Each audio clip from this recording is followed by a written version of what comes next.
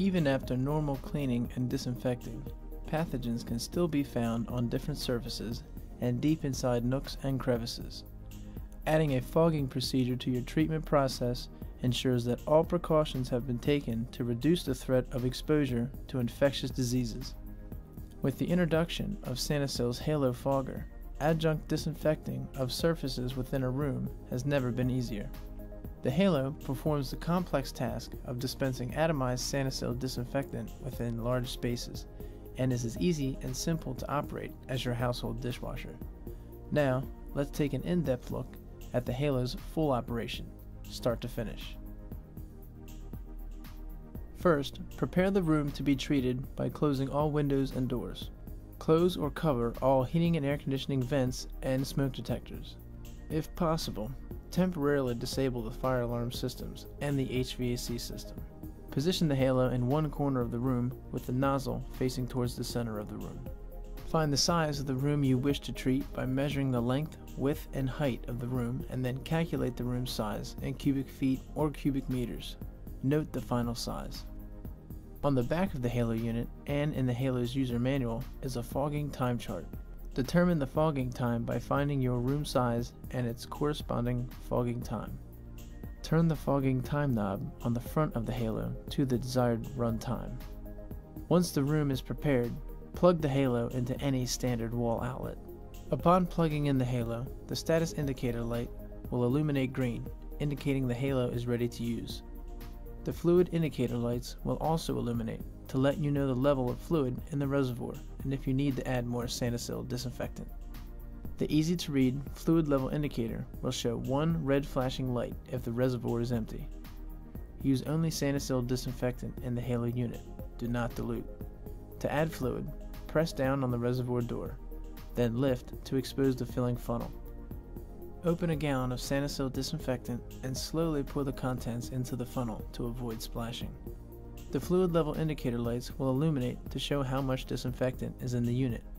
In operation, the Halo dispenses approximately 1 ounce of Sanosil per minute and holds up to 2 gallons of disinfectant when full, enough for 4 1 hour applications. Stop pouring when the top green light on the fluid indicator is illuminated. Do not overfill. Wipe up any spills and close the reservoir door, ensuring it clicks shut. To begin the treatment process, press and hold the start button for approximately 2 seconds. The green status indicator light will begin to flash red, indicating you have 30 seconds to leave the room before the halo begins dispensing its disinfecting mist. The flashing red status indicator light will change to a steady red when the dispensing of atomized Sanosil begins. Make a note of the time the fogging process was started the room cannot be reoccupied until the treatment process is complete, plus an additional 90 minutes. Sanosil recommends a sign be posted outside the room being treated to inform others that a disinfecting procedure is in progress, and that it is not safe to enter the room until the treatment cycle is complete. Sanosil has included sign artwork in the Halo Fogger user manual. Just fill in the blanks and post on the door. When the halo has finished dispensing, the room will be full of atomized Sanosil disinfectant and should not be entered. The status indicator will continue to illuminate a steady red. You may re-enter the room when the green status indicator light on the top of the fogger is illuminated. At this time, it is recommended that you open all doors to allow ventilation and airflow circulation in the room.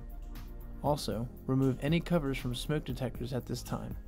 Sanosil also recommends the use of a handheld hydrogen peroxide sensor to check for safe levels.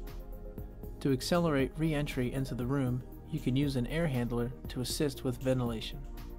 When the treatment process is complete, unplug the halo and remove the unit from the room. When treating multiple rooms with one halo fogger, the unit can be removed after the dispensing cycle is complete. Before entering the room, proper personal protection equipment should be put on including wraparound style goggles, an N95 respirator mask or better, and gloves. Remember to close the door upon exiting. Once you are finished disinfecting with the halo, store the unit in its upright position in a safe, dry location. It is not necessary to drain the halo of any remaining disinfectant. The Halo Fogger's ease of use and efficient performance makes it the perfect choice to complement your regular cleaning and disinfecting practices.